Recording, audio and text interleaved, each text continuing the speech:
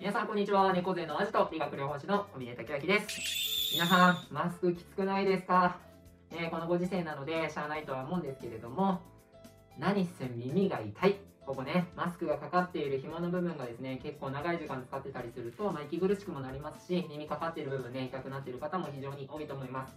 そして表情筋もねほとんど使わなかったりするのでこの顔耳周りっていうのは結構凝り固まってる方が多いと思うので今日はですね、耳周りに特化したですね、エッセンスをお伝えしておこうかなというふうに思います。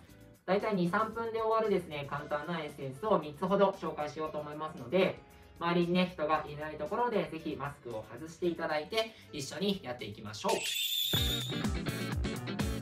今日お伝えしていく耳周りのマッサージはですね、大きく分けて3つの効果があります。1つ目はですね、リンパ節が非常に多くありますので、この辺を動かしていくことで、むくみだったり、たるみの改善予防につながっていきます。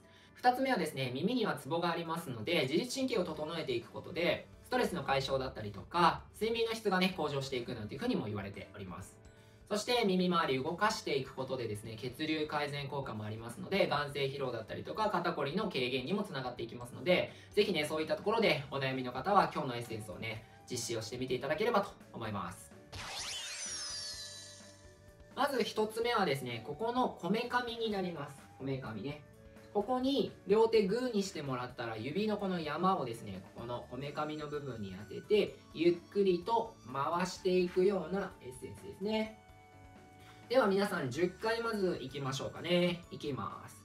1、2、3、4、5、6、7、8、9、10反対回しいってみましょう。1、2、3、4、5、6、7、8、9、10はい OK です。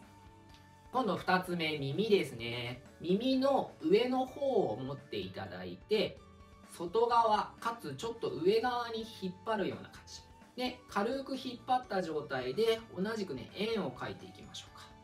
では参ります。軽く引っ張ったところから回します。1 2 3 4 5 6 7 8 9 10逆回しもいきましょう。1 2 3 4 5 6 7 8、9、10。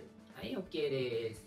今度は耳の中段ですね。中段横に引っ張ってもらって、同じく回していきましょう。1、2、3、4、5、6、7、8、9、10。逆回し。1、2、3、4、5、6、7、8、9、10。OK です。では今度下ですね、耳たぶの方を斜め下に引っ張るような感じで、この状態で回してみましょう。1、2、3、4、5、6、7、8、9、10逆回しいきましょう。1、2、3、4、5、6、7、8、9、10。はい、OK です。そしたらですね、3つ目は、この顎のね、後ろあたりですね。ここ。ここに親指をこういう感じで触れてもらって、で、少し口をパクパクしてもらうと、ちょうどね、顎の関節で動く感覚があると思います。で、ここを軽くぐーっと押した状態で、あいうえおを5回繰り返してみようかなと思います。口の動きに伴って、アプローチしていく筋肉がちょっとずつ変わっていくのを感じ取りながらやっていきましょう。では、いきます。せーの。あ、い、う、え、お。あと4回。あ、い、う、え、お。う、え、おあと3回。あ、い、う、え、お。続けます。あ、い、う、え、お。ラスト1回。あ、い、う、え、お。はい、結構です。楽にしてください。これだけでですね、顔の周りの動き良くなっていったりとか、血流量も上がっていきますし、しっかりとね、耳のツボも押さえているので、自律神経が整っていったりします。